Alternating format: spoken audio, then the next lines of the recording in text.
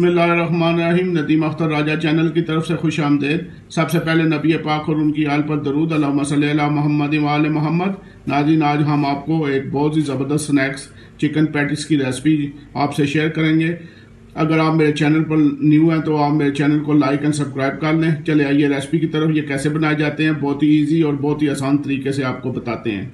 रहीम सबसे पहले आपने एक पाव चिकन ले लेना है और उसको उबाल के इसको रेशा रेशा काट लें।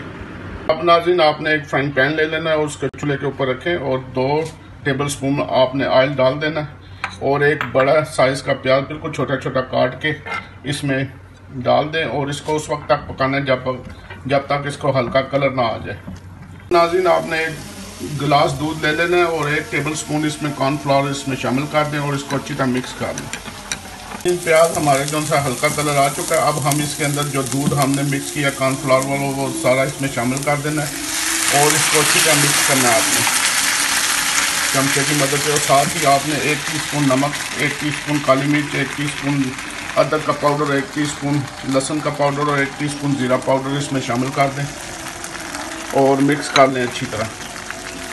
ये एक पेस्ट हमारी तैयार हो चुकी है। अब हम इसके अंदर जो शेड किया हुआ चिकन है, वो सारा इसमें डाल देना है और इसको अच्छी तरह मिक्स करना है। नाजिन इसके अंदर आपने एक टेबल स्पून ये हरी मिर्च की पेस्ट शामिल करनी है और एक टेबल स्पून ये छिलका शामिल करना है और एक टेबल स्पून ये सोया सॉस इसमें शामिल कर दें और इसको अच्छी तरह पकाना है आपने, ताकि इसका सारा जो लिक्विड है, पानी नज़र आ रहा है, ये सारा सूख जाए। ये फिलिंग हमारी तैयार हो चुकी है। अब हम इसको चूल्हे से उतार लेंगे और थोड़ी देर ठंडा कर लेंगे। अब नाजिन एक प्लेट में आपने ब्रेड के स्लाइस ले लेने हैं, सात आठ लेने हैं स्लाइस, और एक स्लाइस को रख के प्लेट के अंदर, और ऊपर ये गिलास की मदद से इसको गोल दरमियान में से काटें।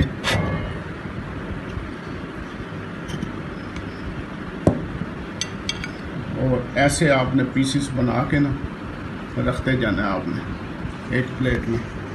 और ये जो बकिया ब्रेड है, इसके ब्रेड क्रम्स आपने बनाने हैं।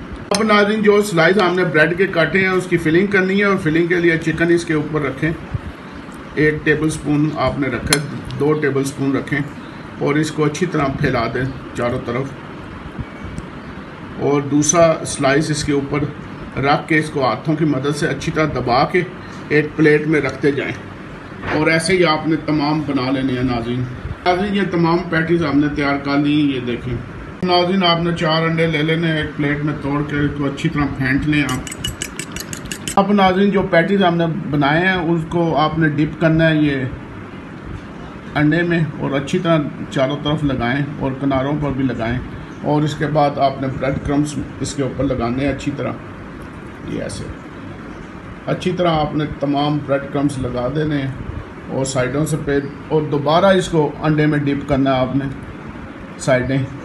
और फिर इसको ब्रेड क्रम्स लगाने। और इस तरह करके आप एक प्लेट में रखते जाएँ। ऐसे।